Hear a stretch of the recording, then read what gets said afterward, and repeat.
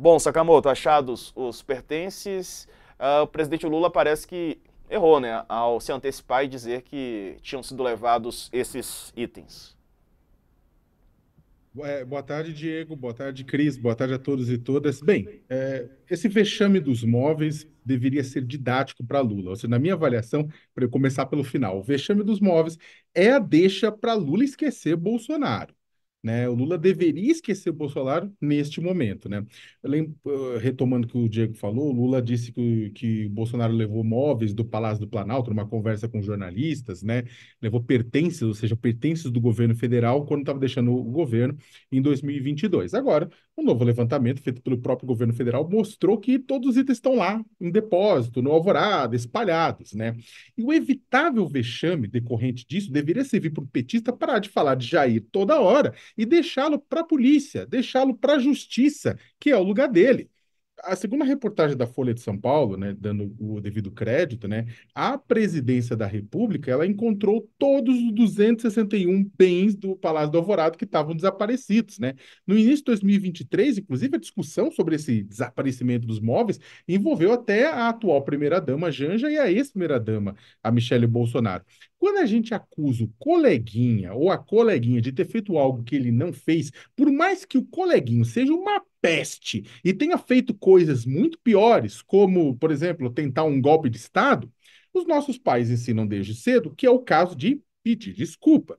Mas quem espera isso, na minha avaliação, vai ficar esperando. Né? A resposta oficial da Presidência da República aponta, fala das conferências, fala, olha, em novembro de 2022, ou seja, durante a gestão Jair, é, não havia encontrado os itens, outra conferência no início de 2023 notou a falta de 83 objetos, e somente mais uma, em setembro do ano passado, encontrou todos. Ou seja, essa versão corrente, traduzindo ela, é que, olha, Lula usou a informação que tinha um momento, no momento, né, em que havia uma bagunça no Alvorada e, e se pronunciou com base nela. Não importa, Bolsonaro deitou e rolou com base nessa informação né? É uma informação, é um, é um, é um, é um erro grave. Lula, na verdade, a gente olhando, e a gente, naquele momento da transição, da, da, do início do novo governo, a gente olhou e falou: Poxa, mas o governo jura que o governo está gastando tempo discutindo a questão de imóveis, discutindo a questão da, da alvorada, faz a reforma, faz a mudança. Lula tinha ficado insatisfeito que estava ficando muito tempo em hotel, que o alvorada estava em petição de miséria, houve TV, houve tudo, né? Realmente, o alvorada foi deixado em petição de miséria, mas essa questão de falar culpa A, B, C, ceder por tudo, era uma coisa que deveria ter sido feita só no momento que o pessoal tem certeza absoluta de tudo. Né? E mesmo assim eu deixaria essa informação para outro órgão do governo, não o presidente da República. Né? Então o que acontece?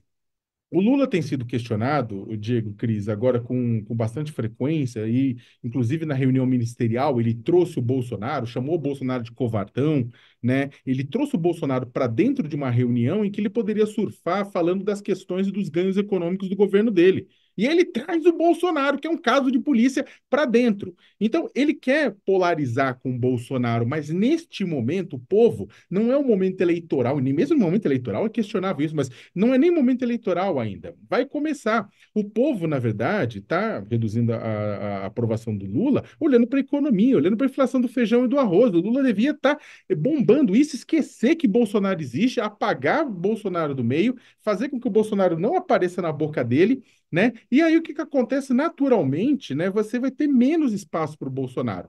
O que, que acontece é que essa é mais uma prova de quem ajuda a botar Bolsonaro na mídia ontem e hoje é o, o Lula. Não é só, mas é o Lula. Deixa o Bolsonaro nas páginas policiais. Essa deveria ser uma lição. Essa situação que aconteceu do Lula ter se envolvido numa coisa que não precisava ter se envolvido é uma lição de que a pelo menos de agora em diante, ele não fale do Bolsonaro, né? Deixe, deixe essa história assim, fale do que tem que falar, fale de economia, fale de bem-estar da população, fale de projetos do governo, né? Que ele ganha mais e não entra mosca dentro da boca, né? Verdade. Ô, Cris, e é claro que diante de tudo isso, né, a gente já está no dia 20 de março de 2024, as eleições já passaram, né, já estamos quase a um ano e meio de governo Lula, ainda falta é, dois, faltam dois anos e meio para o próximo período eleitoral e Bolsonaro não estará lá, ele está inelegível, vale ressaltar, né, respondendo a vários processos. Como disse o Sakamoto, talvez tenha passado da hora né, dele ser deixado de lado, pelo menos pelo presidente da República, né, que as outras esferas é, cuidem dessas investigações e do que vier a partir disso. Boa tarde para você. Boa tarde, Diego. Boa tarde, Sakamoto. Boa tarde a todas e todos que nos escutam, nos veem.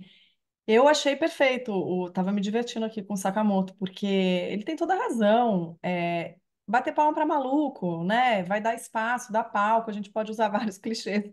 O fato é que quando o Lula faz isso, ele dá palco. E mesmo que seja na contestação, porque a gente sabe como operam, né, os bolsonaristas. Agora, é verdade também que as instalações públicas foram deixadas em um estado lamentável. Isso é verdade, né? O fato de que tinha, a gente lembra da, da quando, quando a Janja abriu a casa ali para Natuza, na Globo News, é, móveis em estado ruim de conservação, bom, sem falar no quebra-quebra. Então, quer dizer, as coisas foram deixadas num estado muito ruim, e eu acho que também, naquele momento, a gente tinha um grave problema de, de falta de transição, né? O Bolsonaro não estava no Brasil. Então, se ele estivesse dialogando com o presidente Lula, talvez ele pudesse ter evitado os, dos dois lados, né? Se, se, houvesse diálogo, talvez a gente tivesse evitado com uma mensagem no Zap, né? Cadê meu sofá? Mas enfim, não é, não é dele, né? Não é de ninguém, é do é de todos nós, é do patrimônio público.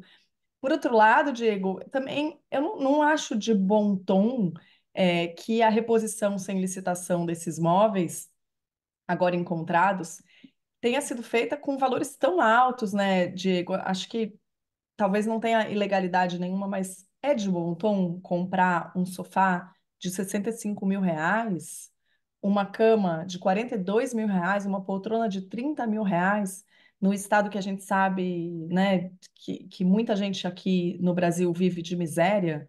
Então, eu acho que tem aí uma falta de, de sensibilidade mesmo é, no trato dessas, dessas questões. Diego. Verdade. Agora, é, Sakamoto, é, essa, essa questão de tirar o presidente Lula do, do discurso. Ontem a gente ouviu aqui a deputada Maria do Rosário, inclusive, e ela também usou é, com muita sutileza, mas também falou que é hora de deixar Bolsonaro para trás.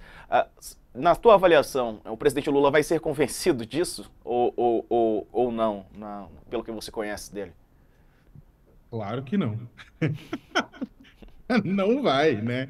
Não vai porque é o seguinte, eu acho que tem alguns pontos que seria interessante colocar. E, e, sendo sincero, acho que a despeito de ter várias pessoas e vários profissionais bons de comunicação em torno do presidente da República, é, o Lula, ele é, uma, ele, ele é uma pessoa que ouve, claro, né? Só que em termos de comunicação, a impressão é que ele ouvia mais alguns nomes que já não estão lá na, na, na entourage dele. Por exemplo, Franklin Martins, né?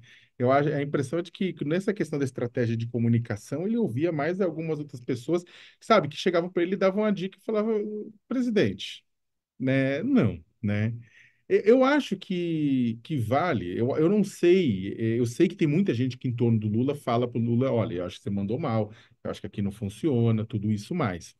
Agora, eu acho que, eu não sei se isso, se você tem número de pessoas suficiente no entorno dele que é, conseguem fazer essa, essa avaliação para o Lula e falar assim, olha, mandou mal porque é o seguinte, não adianta você usar as mesmas fórmulas que você usava entre 2003 e 2010 em 2024. Por quê? Você não tinha rede social. O Lula podia antes deixar o pau comer entre os ministros dele é, com diversas, com disputas internas, não de dinheiro, de política, mas por projetos, até que ele pudesse decidir, olha, isso aqui, esse, essa linha é melhor do que a outra. O Lula sempre fez isso, é uma coisa que tem a ver com a disputa sindical, né, de ver a, a, a, os argumentos serem, irem surgindo de um lado e do outro e depois decidir. Só que o que, que acontece é que agora toda essa disputa entre intraministérios, ela acontece em tempo real, transmitida para o Twitter, vazada para o YouTube e que, na verdade, acaba passando a imagem de um governo confuso. Né? Então, por exemplo, isso é uma questão de comunicação do governo que é muito diferente. Outra, qualquer erro do governo Lula, qualquer erro do presidente na fala, ele é imediatamente destacado, tuitado, instagramado, vira dancinha no TikTok, chega no pessoal mais velho via Facebook, né? cai no X, né? cai no Cu, que é uma rede né? também, cai em todo lugar, no Threads e por aí vai. Né? O, o próprio, o próprio Lula, tipo, o próprio pessoal, uma das justificativas dadas por várias pessoas de- do governo, da base do governo, com relação às declarações de Bolsonaro do Lula na reunião ministerial, foram que é o seguinte, falaram, olha, mas o presidente só falou aquilo naquele momento e depois passou horas falando sobre o governo. Gente, é uma justificativa que as pessoas que falaram isso, inclusive, entendem de comunicação e sabem que na hora que aquilo é falado, aquela frase é pensada e não é uma sacanagem da imprensa.